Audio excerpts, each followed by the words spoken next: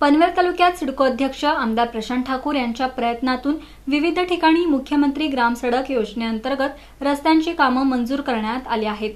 त्याअंतर्गत मानघर ते आवळीचा मळा या रस्त्याचं काम करण्यात येणार आहे.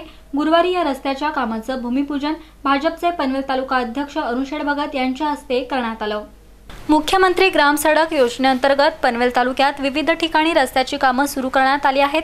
त्याअंतर्गतच मानघर ते आवळीचा मळा येथील रस्त्याचं काम करण्यात येणार आहे. या कामाचं भूमिपूजन गुरुवारी मान्यवरांच्या हस्ते करण्यात आलं.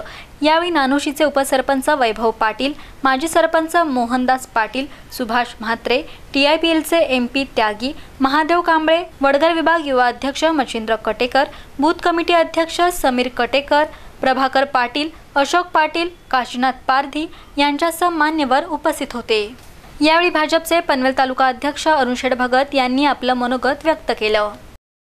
आज या ठिकाणी आपण सर्व उपस्थित झालात आपण आपल्या भागाचा विकास करण्यासाठी सर्व कार्यकर्त्यांनी या ठिकाणी प्रयत्न करणं गरजेचं आहे. महेश बालदीच्या रूपानं आपल्याला एक चांगला नेता या उरण विधानसभा मतदारसंघाला मिळाला आहे. त्याला पाठबळ रामशेख ठाकूर साहेब आहेत आमदार प्रशांत ठाकूर आहेत. आपण सर्व मंडळी या भागाचा विकास करण्यासाठी त्यांना साथ देण्याची खरी म्हणजे गरज आहे. आपण सर्व या ठिकाणी आलात ते काम लवकरात लवकर पूर्ण व्हावं अशा प्रकारची मी त्यागी साहेबांना विनंती करतो आणि आपणा सर्वांचं पुन्हा एकदा स्वागत आभार मानून थांबतो. पनवेल आणि नवी मुंबईच्या ताज्या घडामोडींसाठी मल्हार टीव्ही न्यूज सबस्क्राईब करा आणि बेल आयकॉन दाबून रहा अपडेट.